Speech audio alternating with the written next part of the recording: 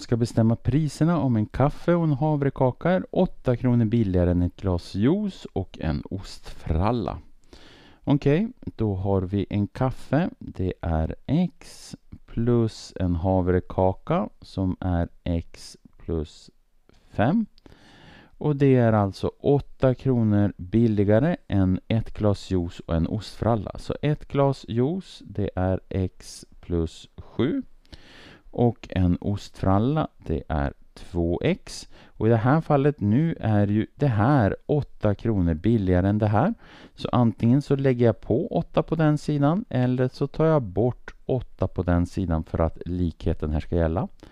Jag har två stycken x plus 5 på den här sidan och här har jag x plus 2x. Jag får 3x. 7 minus 8 det blir minus 1 sådär.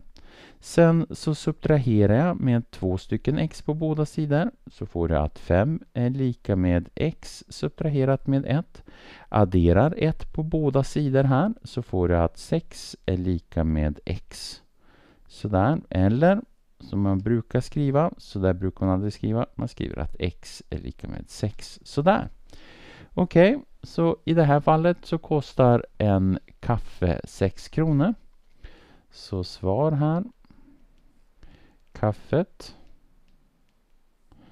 kostar 6 kronor. Ostfralla kostar 2x, alltså 12 kronor. Havrekaka kostar 6 plus 5, 11 kronor. Och juicen